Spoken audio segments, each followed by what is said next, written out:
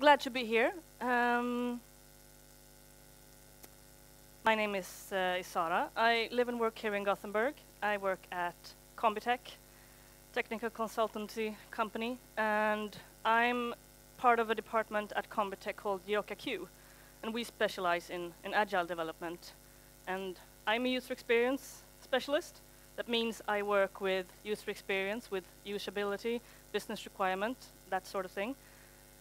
Um, and since I'm part of Jidoka Q, who specialize in agile, I specialize in agile UX. How do you work with usability when you're doing it agile? How do you work with um, business requirements when you're going agile? Because it differs quite a lot from working with, with user experience, working with UX, uh, if you're doing waterfall.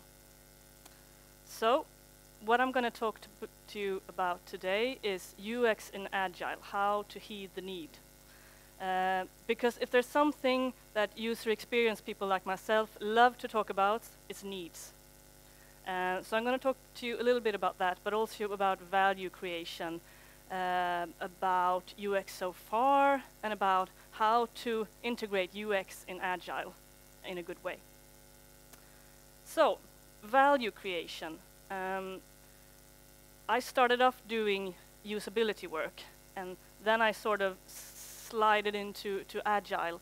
And one of the things that I find is in common between those two areas is the focus on value creation, creating maximum value. Um, but whereas uh, agile is focused very much on on uh, value, UX is also focused a lot about, lot about the needs, and you believe that you have to satisfy the needs to be able to create value. So the principle is that the ideas that satisfy the needs are the ones that create value. In UX, you believe that you can't create any value uh, without satisfying the needs.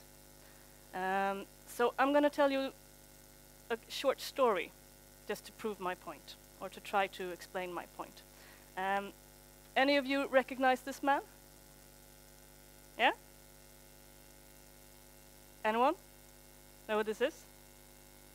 No? Um, he has been quite influential in his field, but is not very well known. His name is Edwin Land. Anyone know who Edwin Land is? No?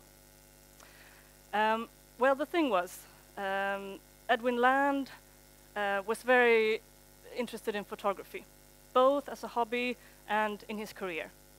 And one day he was out taking pictures with his three-year-old daughter, and after they had taken some nice summer pictures, his daughter asked him, okay, but now let me see the pictures. And he said, no, honey, can't see them right now. They need to be developed first, you know, cameras and, and all that, and film. Um, but she persisted, and uh, if you've met any three-year-olds, I think you know they can be quite persistent. Um, so he thought about it, uh, and in a couple of hours he had actually come up with a, a, a rough um, blueprint of an idea of how you could actually do it. This was in 1944. And four years later, the first Polaroid camera reached the market. Uh, product development took a bit longer those days, took four years from the idea till the finished product. Released in 1948, it was a huge success. Um, I think it re was released uh, right before Christmas, and it sold out straight away. And made Edwin Land and the Polaroid company lots of money. Uh, they even named the first Polaroid camera after him. It was called the 800 Polaroid Land camera. Because he was the CEO of Polaroid, and his name was Land. So it was the Polaroid Land camera. And then they skipped the Land part because it was such a long name. Um, so it just became the Polaroid camera. But in a sense, by heeding that need, uh, by realizing that the need of his three-year-old uh, could also perhaps be a need for someone else.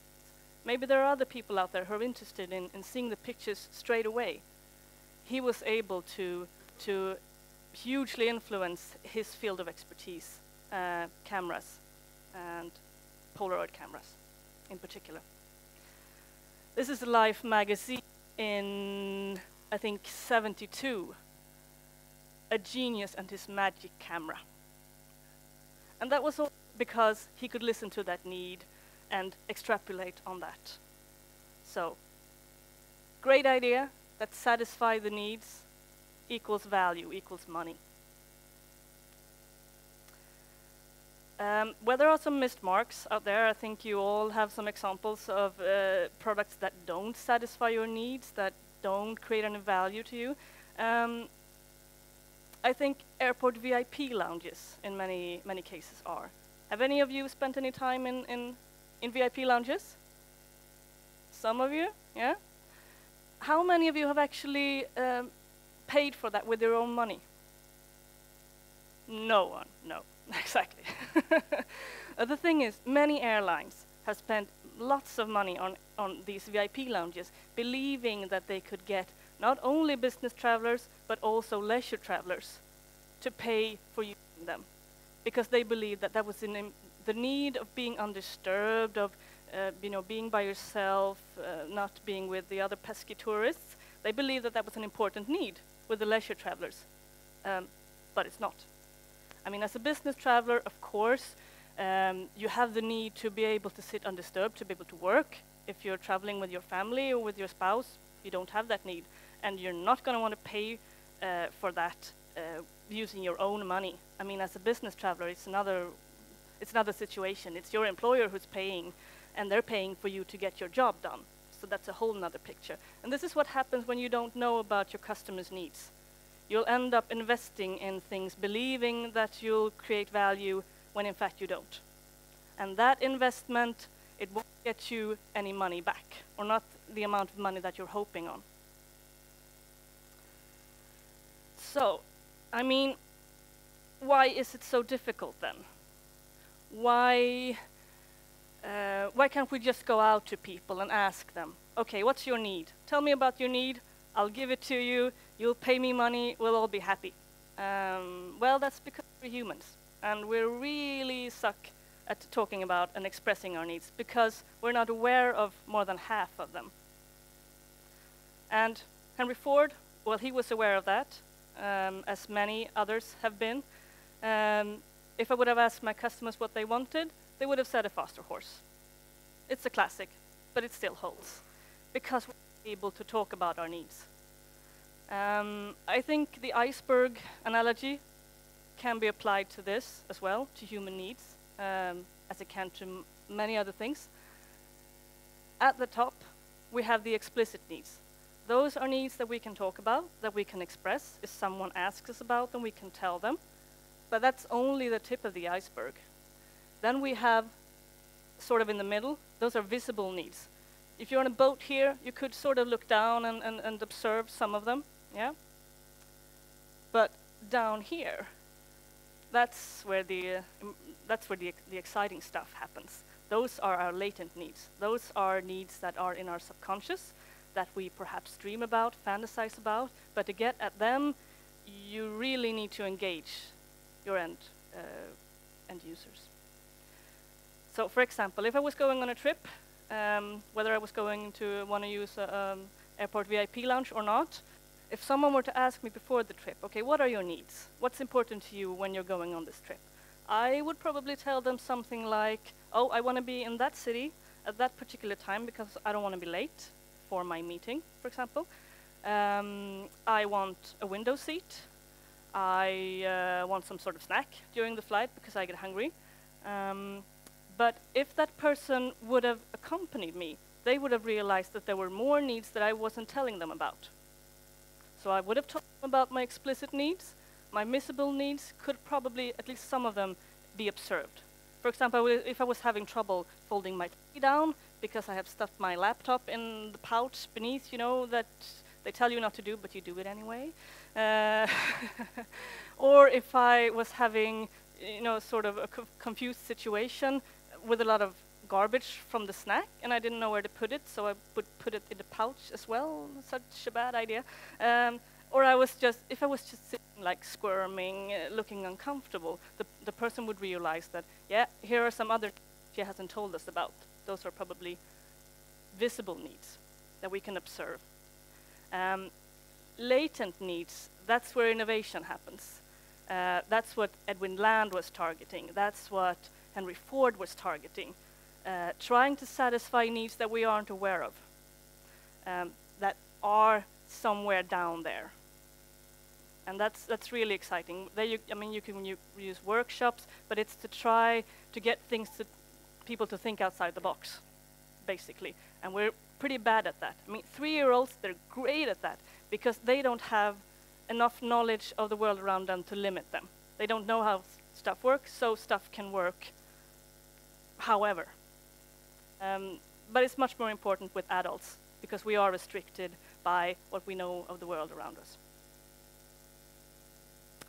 Um, one example of how you can try to target uh, the, the visible needs and the latent needs, it's just getting out there, getting out there in the reality. Uh, in lean manufacturing, uh, there's this principle called, called Gemba, where Gemba means the real place, the place where value is created. Uh, so example, in Toyota, when you're looking at the production process, uh, management has to go down to the factory floor to actually look at what's going on. They can't just sit idly by uh, in their offices uh, relying on second-hand information. They have to go down there. They go on Gemba walks in the factory where they go around uh, to get a sense of the value creation, identify ways to practice continuous improvement. Um, and that principle holds. Um, an, has anyone seen the uh, TV series Undercover Boss? Some of you, yeah? That's, that's Gemba on TV, Gemba TV.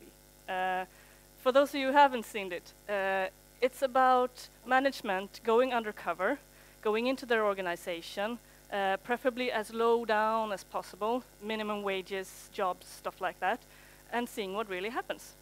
And most of the times, they're really surprised, uh, even shocked about how uh, things are actually going on in the real world. And another thing is that they get quite creative in trying to think of ways to solve these problems problems that they had perhaps heard about but hadn't listened to, but once they've experienced it firsthand, um, they get a whole nother understanding. So that's one way of trying to, to get at those needs, those needs that are visible, those, those needs that are latent, not just listening to what people say, but actually looking at uh, what they are doing. All right, I'm going to go through a brief history just to let you know where UX is today and where we're coming from. Um, I will go back as far as the 1940s. And it goes on why I'm in the 1940s right now. Because of this. Because of the Second World War. And in particular, Air Force in the Second World War. These are Spitfires, uh, Spitfires, sorry, Spitfires.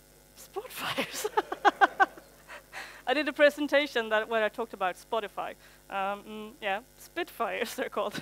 I think my husband is ashamed of me now. I, he's a Second World War fanatic. Mm. Yeah, but one of the one of the most popular and, and well-known air forces, British air forces.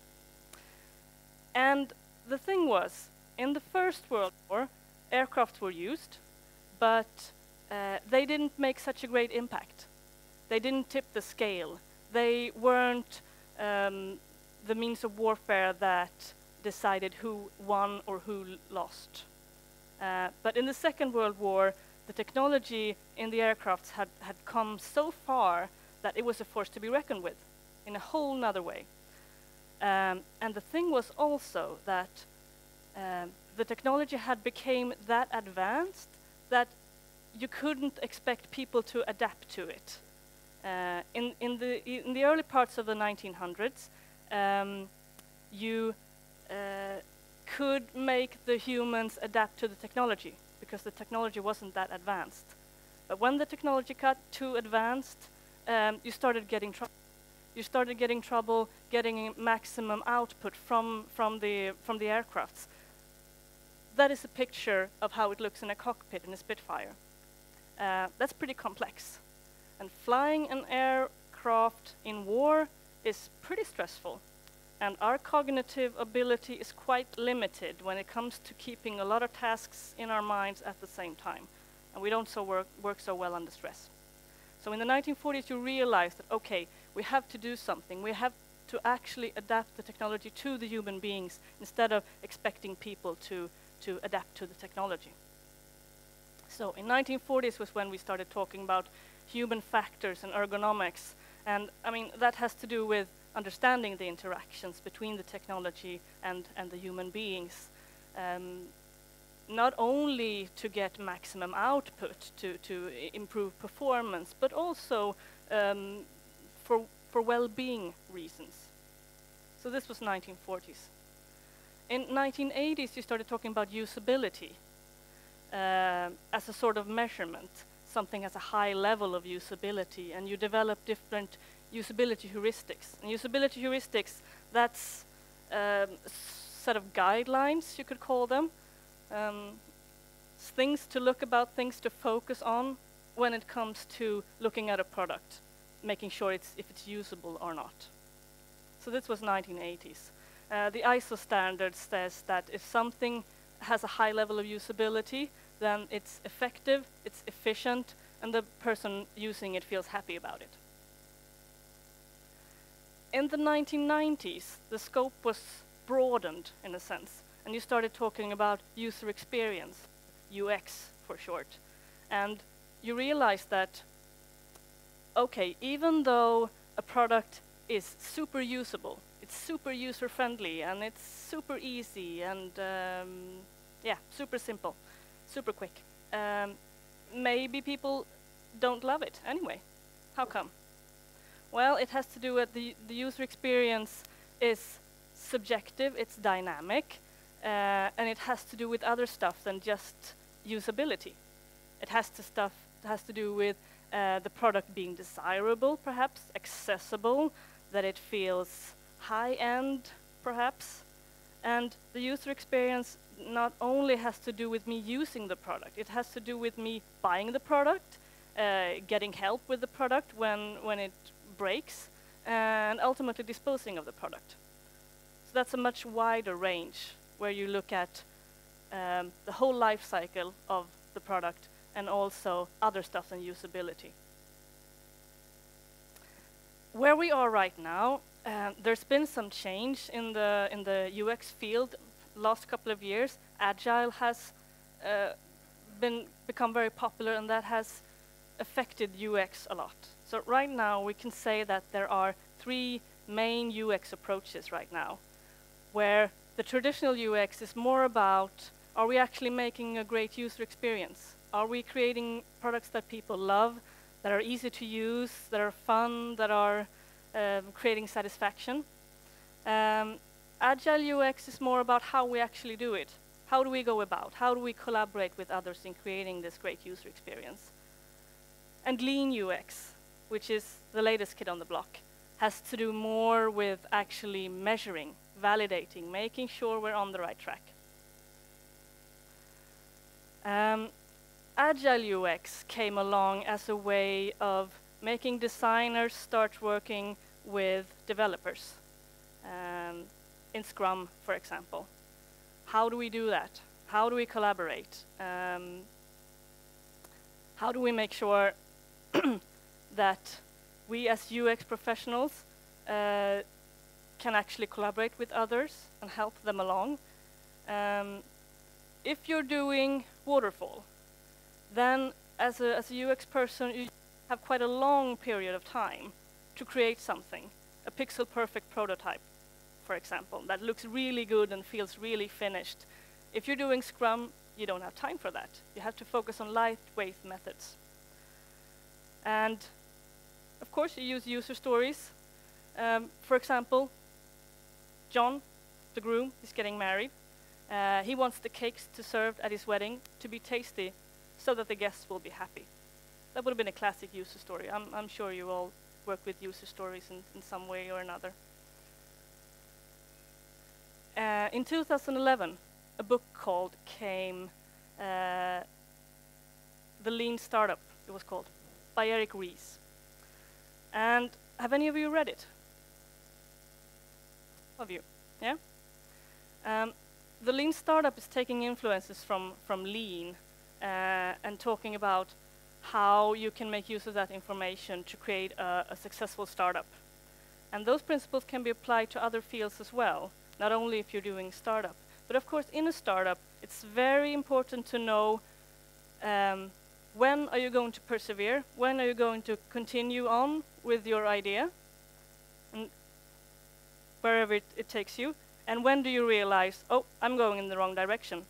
I need to pivot. I need to go back to where I started from.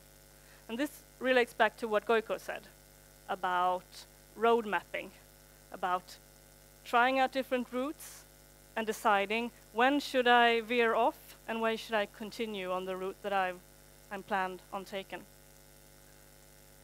Um, this book talks about a feedback loop, build, measure, learn. Gojko also talked about that. And of course, Eric Ries isn't, isn't the first guy to, to think about this. Uh, it has been done in, in, in other ways as well. Um, but the whole thing is, is you build something, you measure it, and you learn from it.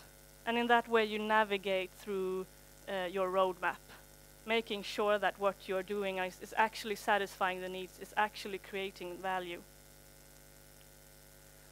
Um, and that book had quite an impact on uh, the UX community.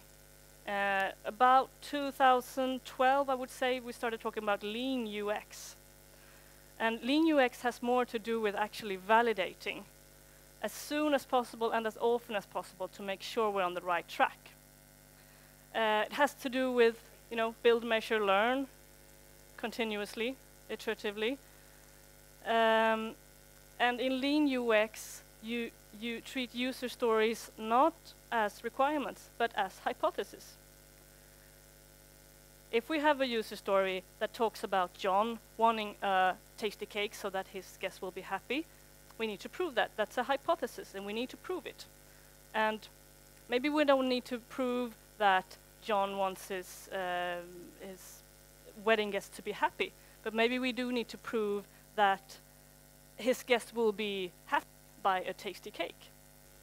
Maybe that's what we want to prove. So in this case, we could say that we intend to prove this hypothesis by showing that 7 out of 10 wed wedding guests will be happy if they're served a tasty cake. Uh, in 2013, a book called Lean UX came out. Uh, uh, it talks a lot about user stories as hypothesis, and it also talks a lot about finding your minimum viable product. Um, some of you might have seen the cupcake approach. Uh, in this case, if we're talking about John, and he wants his guests to be happy uh, by serving them a, a tasty cake. I mean, you wouldn't want to go along building an entire big wedding cake to test that hypothesis, and you wouldn't want to just serve them, them dry, dry cake, because that wouldn't give any indication of how the actual cake would test. But I mean, a cupcake, yeah, that's a good minimum vi minimum viable product for testing if a great tasting cake will make people happy. So we go ahead and test that, and maybe we find out that that's not enough maybe when it comes to a wedding cake, appearance actually does matter. If we serve cakes looking like this, even if they're tasting good, maybe they won't be. So in that case, maybe we have to pivot. We, act, well, we thought that bringing them a tasty cake would make them happy, and they said, what's this? It doesn't look like a wedding cake. Ah, but can't you feel the taste? It's really good. Uh, I don't care. I, I think it should be higher. Yeah, maybe then we need to pivot and go back and actually looking at, okay, we realize that we need to look at the appearance of this cake as well. Right, so the last part, UX in Agile. How do you actually make it work? How do you get that uh, focus on the needs? And how do you test things continuously? Um, if we look at the three approaches, traditional UX, what are we actually making? lean UX, uh, are we making the right thing? And agile UX, how are we actually working? Do we need to choose? And I say no. Go crazy. Um, do what you like. Nearly, no. But you can combine these two. I'm going to show you a clip later of a team that has combined lean UX with agile UX in quite a quite an exciting way. And of course, in some in some ways, even if you're doing Scrum, maybe there's a need for a long pre-study. Sometimes there is, and that's where traditional UX comes comes into play. Um, but you can combine them, of course. It all depends on context and what you're developing and, and um, what kind of product it is. And most UX people are quite used to working iteratively. Uh, there's an ISO standard uh, about human-centered design for interactive system, and this specifies that you should actually work iteratively. Maybe not as fast as in two or four week sprints, but generally most UX people are, are used to working iteratively. Um, pairing I think that's one of the great things of, of working agile and doing Scrum is that pairing is is, um, is so common. Actually working together, working quite close. That's that's great. And of course you can you can pair different roles as well. And I really like the idea of pairing the product owner with a UX person. I've been doing that uh, in a number of occasions, and I think that's worked very well because the product owner is a really tough role I mean, it's it's quite a lot of stuff that that person has on on her or his shoulders. They have responsibility for the end users. They have responsibility for um, internal politics, for return of investments, for communicating with everyone, uh, and it's quite a lot. And usually, most product owners aren't really that used to um, working with needs, but UX people are. And UX people are generally quite underrepresented, both on a strategic level as well as hands-on, you know, coding and doing stuff like that. Uh, there is this thing called product stewardship, where the product owner and the UX person pairs and works quite closely and divides the responsibility. Whereas the product owner takes responsibility for the business stakeholders, the UX person takes responsibility for the users and the customers, and they share the responsibility for the development team, uh, letting them know uh, what they are doing, why they're doing it, uh, but letting, letting the Scrum team do it uh, how they think is best. Um, I've been a UX person in, in some different Scrum teams, uh, in some different constellations and different setups, and I think that what has worked best is me dividing my time between working strategically with the product owner, creating business impact maps, um, doing stuff like that, uh, and then working hands-on in the team, um, sketching, wireframing, pairing, doing stuff like that. That's what I think has worked best. Um, to be able to focus on the needs and the end users throughout a development product project, uh, you need to have some way of exactly actually ex establishing the uh, the vision. This also relates back to what Gojko was talking about. Getting that vision, getting that sense of why are we doing this? Who are we doing it for? What are their needs? And I think business impact maps or impact maps, as Gojko is doing it, is quite a great way to do that. And the reason for this, um, I've limited myself to only one brain slide. Uh, happy about that because I can go on and on about brains, but I'll show you one, just one, because it's such a good one. Uh, in the top row, you have a person reading words. Um, this is an fMRI scan. So where you see lighting, lightings up around there, that indicates brain activity, blood flow. In the middle row, where the person is reading sentences, you'll see that it starts lighting up in some new areas there. That means you're getting, you're using a larger percentage of the brain. You're using your brain's potential in a better way. Reading stories, you see it starts lighting up in, in all around the place, yeah? And this is because we're hardwired for storytelling. We need stories. Um, we, we, uh, we react to stories, we relate to stories. And that's why an impact map or a business impact map is a great way of communicating that vision because it tells a story, it gives you a sense of context to the users. I'm too used to sitting in sprint demos where only the product owner is there to accept or um, reject the result of the, of the team. You need to get the, the users there because remember, right, they're really bad about talking about their needs. They need to see it up front to be sure that they like it, that it's something that they will use and be happy about. And in the final sprint, uh, if you're doing a final sprint or if you're doing something after the sprints, you should do a larger evaluation to make sure. Did we satisfy the needs that we wanted? Did we actually create the value? Because that is all about satisfying the needs to create the value. Yeah, that was all the slides I have, but I have a cool clip for you as well. Five minutes. Oh, that's perfect. Let's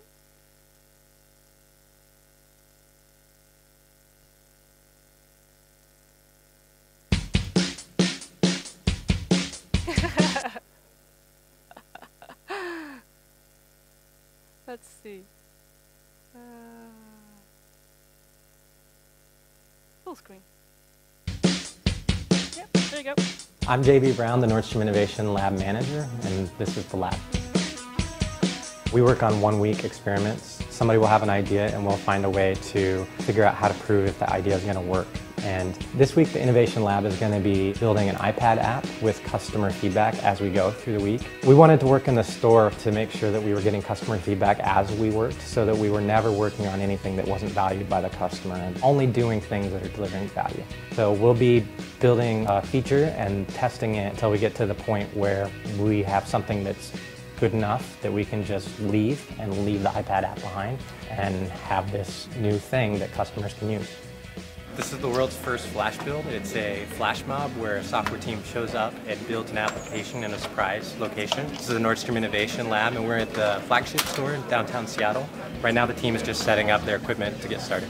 We're going to build an iPad app that helps customers pick the best pair of sunglasses for them. We really don't know what the features are yet. We're going to use customer feedback as we go along throughout the day and the rest of the week in order to build the best thing. So the next thing we're going to do is a user story map. So we're going to sit here and together outline all the steps the customer would take and actually even beforehand how they buy sunglasses, like what are the, the different things that they might do and how that process might change if we have this application. And we'll actually dig into what we have to build in order to support that process. So now that we've done a card mapping, we're going to do a paper prototype and this is something that we commonly do in the Innovation Lab. It's a great way to show what we'd like to do in a rough prototype that we can easily throw out, change, alter based on feedback from the customers. I'll continue building individual paper slides and our user experience specialist at Mattel will bring the prototype to a customer and say, okay, I have this app and this is a paper version. I'd like you to kind of use it like you would normally use an app and you can press things, interact with them, and then she'll change out the pages based on how the customer uses it. So it's a similar experience to the iPad, only an analog version. So it's day two, and we have our first working prototype of this app. And how it works is I take my first pair of sunglasses, put it on, take a picture, all right, and then I want to compare it to this other pair I've got right here. Put these on, take another picture. I can just hold these up like this and see which one I like better. Well, Tel and Kim been talking to people and doing paper prototypes. We've been coding, building an iPad app. We take a stab at something, we look at the paper prototypes that Kim put together. We might take one at a time. Usually we come to the board and we grab the most important feature and we start implementing it. The really cool thing with this flash build is that we have actual real customers. Just today we delivered four or five different separate features and I deliver it, swap the iPad with Tel. She'd go and talk to a customer and 10 minutes later I had feedback from real customers about this thing that I delivered and it changed how we did the next thing. And it's been really, really great watching day to day what they've been doing, the team, to get all the feedback from the salespeople, the feedback the salespeople have gathered from the customers. And it's a really interesting process to kind of come in on Tuesday, we had no idea what this would look like.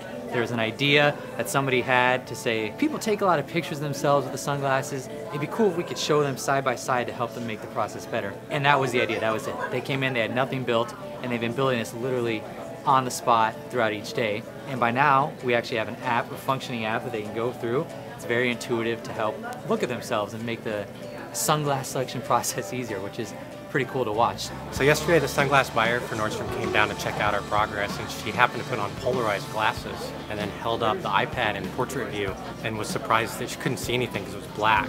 And we figured out that the polarization of the iPad running up and down, and the polarization of the glasses running vertical, cancel each other out. You don't see anything. But if you turn the iPad to landscape, you see perfectly fine because the polarization of the two items line up, and it's okay. So it was pretty good find to be in the store and she just happened to put on polarized glasses. And so today, first thing we're going to do is switch it to a landscape design and then lock in the aspect ratio of the iPad so customers and salespeople just naturally pick it up and use it in landscape and not try and go to portrait. Okay, so I'm going to show you what we've been working on the last five days. We've added quite a few features over the week. You take a picture, multiple pictures of the customer, and then you can pull them up. You tap the first one, can see it um, larger and then tap the second and do a side-by-side comparison of each glass next to each other.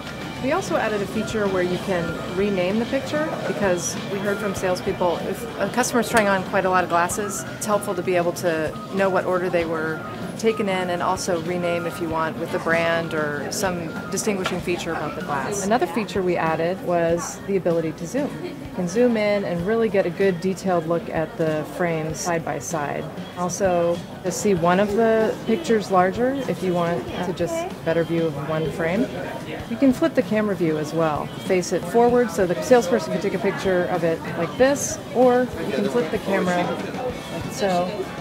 Take a picture of uh, yourself facing forward. And then at the end of it all, we have a button called New Customer, which just erases all of the images and allows the salesperson to start with a new customer. We're just trying to put the final touches on the app. Tel talked to a lot of users, and they said that when we went into the compare view, it was unclear where the pictures were coming from and which picture was which. So the animation here is trying to solve that problem, make it a little more clear what's going on. One of the challenges with software is when you're you done, right? And I think the answer is really it depends on how much time you have at least the most important things got done. So this was time boxed to a week, and we did a week's worth of work. And it seems like what we have now is something that makes customers happy and addresses the main problems, and something that we can track. We have metrics on. So I think we're going to call that a day. The application has developed so far. Everything's finished, everything that we've asked for, and even the little roadblocks and glitches that we kind of stumbled across as we use the app during the week has been solved. Um, I think that it's going to be really easy to be able to implement into our sale, and I think that we're going to find a lot of success with application, whether it's via a selling tool for us or if it goes public into a downloadable format. Whatever happens, I think this was generally quite a success.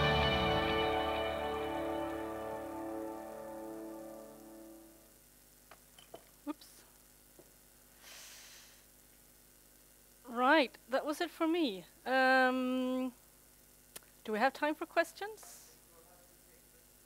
Yeah. Yes, I am. So just feel free to, to approach me and uh, if you have any other questions. Yeah. Okay, thank you.